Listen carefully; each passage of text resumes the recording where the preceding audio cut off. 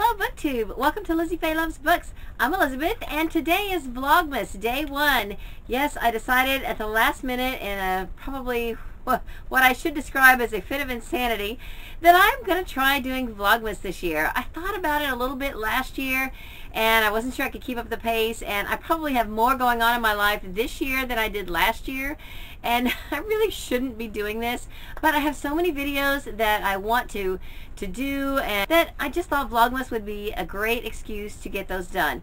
Now in the middle of all of that I've got a lot going on and so I thought I would give you a little life update today but what I plan to do for Vlogmas is of course my regular videos like my November wrap up, my December TBR, I've got some tags that I need to do that I've been tagged in and I've got another original tag that I want to throw out there and then I have a couple of other ideas of things that I want to do.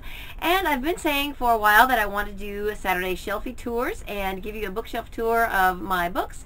And so when you add all that up, it's almost 24 videos. So why not just do Vlogmas? So tomorrow I should be starting with my December TBR uh, and then on Saturday I will do my first Saturday shelfie and then after that I will try to get my November wrap up done and then we'll go from there. So here's why I probably shouldn't be doing Vlogmas this year.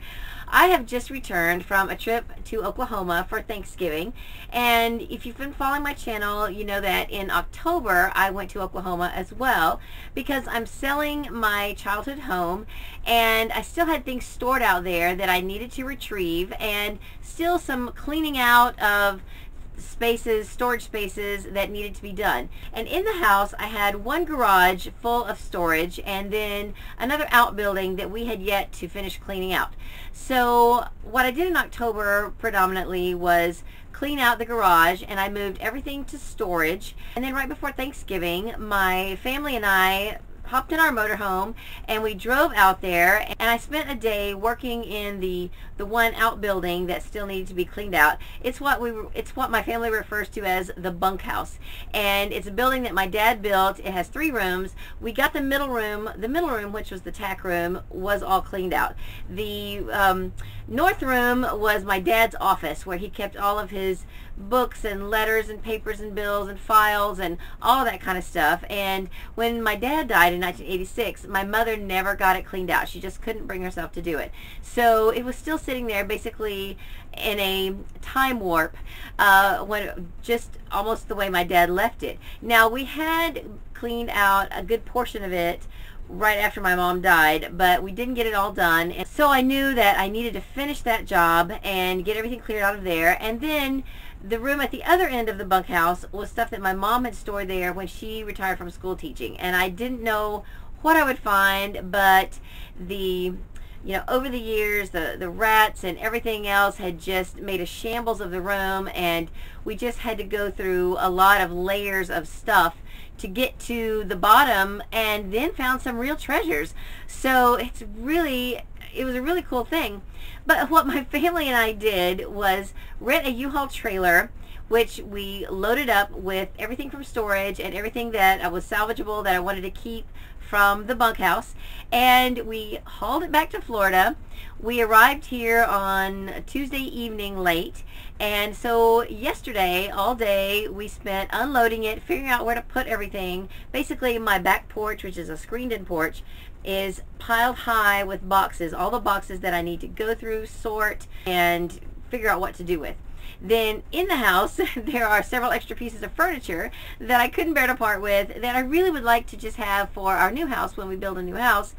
But there's no other place to put it except in the house we live in right now. That alone is enough. But just wait till you hear what happened to us just trying to get here. So we picked up the trailer, hooked, had it hooked to the motorhome by the girl at the U-Haul place, who I might add we found out later, really didn't know what she was doing. Randy was pulling the trailer with the motorhome and I was following behind in my brother's pickup, just, you know, watching. And I watched as the trailer detached itself and flew off down into the embankment. Thankfully, it didn't fly into oncoming traffic. So we lost a couple of hours there while we waited for U-Haul to send someone to tow it. And then Randy had to go back and get another trailer thankfully they had the U-Haul powers that be had called the store manager and had him come out and hook up our new trailer. So we were after dark getting it loaded. Uh, so that was Saturday. Sunday morning, I got up bright and early, went and continued to work in the room that still was piled high with stuff and uh, stopped and went to church because I really wanted to see some old friends and came back and spent the rest of the afternoon just doing all we could, making sure that, you know, we, we still didn't get it all cleaned out, but we got everything out that was salvageable, that I wanted to keep, and, you know, I just had to leave a little bit for the people who are buying the house. And I hated to do it, but we were just out of time. So we pulled out of Oklahoma. We drove all night. I say we, my husband drove all night because I was not touching the motorhome with the trailer. I just wasn't confident enough about that. Now, I do drive the motorhome, but even that is a little nerve-wracking. So no problems during the night, but the next day, probably late morning, I think, we hear a boom, boom and kind of looked around, you know, looked out back. I didn't see anything we had hit, so I wasn't really sure. Kept on going, and maybe an hour later, we hear another bigger bump and pulled over, and our two back passenger side tires on the motorhome had blown. So the first bump was obviously one of those tires, and had we stopped and got out and seen it, we probably could have saved the second one. But we didn't. So now we're sitting on the side of the road with only one spare and two blown tires. So we are able to call the tire place that's close enough that can come out, bring us a new tire, put on our spare, and you know, a couple hours later, we're on our way. so we stop for lunch. A couple hours later, then another BAM! And we pull over because the spare has blown. Oh my goodness we just can't catch a break, it seems like. But, you know, when it's all said and done, I'm thankful. I'm thankful we made it here safely. We, you know, my husband did not lose control of the vehicle. He was able to pull over safely. We didn't get hit while we were on the side of the road. We had people who were able to come and we had we thought to call our insurance the second time and they found somebody to send to give us, you know, bring us a second tire. But by this time it was after 5 p.m. and so we had to wait until after dark. Finally, you know, someone was there and helped us out.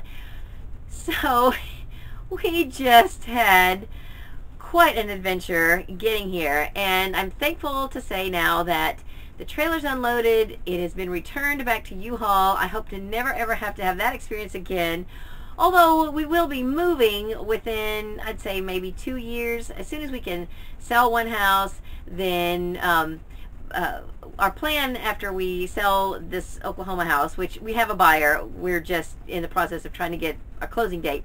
Um, we hope to build a garage with storage above on our new on our property so that we can then haul a lot of the clutter we have here out to there and then sell this house, then we'll probably, maybe, I don't know, live in our motorhome next to the garage while we sell this house. Or maybe if whoever buys it wants to rent it back to us, then we can do that while we build a new house. And so that's kind of our long-range plan. And I didn't mean to go into all that on this Vlogmas video. I really want this to be a short video. But I just wanted to tell you what all's been going on in my life and why this probably isn't the best time for me to be doing Vlogmas because I have a back porch full of boxes that I've got to go through. I have a mountain of laundry to be done from our trip and I have just a boatload of things that I've got to do. But I can't stop reading. I can't stop making videos. I'm totally addicted now to making videos. And I do have one coming up very soon that I filmed while I was on my trip. My brother was very willing to do a video. Um, my sister, as you guys know, has been in a video with me before. So I did a sibling challenge with my siblings and we did a video together. So that will be coming up sometime during Vlogmas. And I'm excited to uh, show you that. I, I have not even started editing that, but I hope that it will be a lot of fun and you will enjoy seeing that. But for now, that's all I have for this video. I hope to see you tomorrow and every day from now till Christmas. So I hope you're having a great day. Read a good book and God bless you.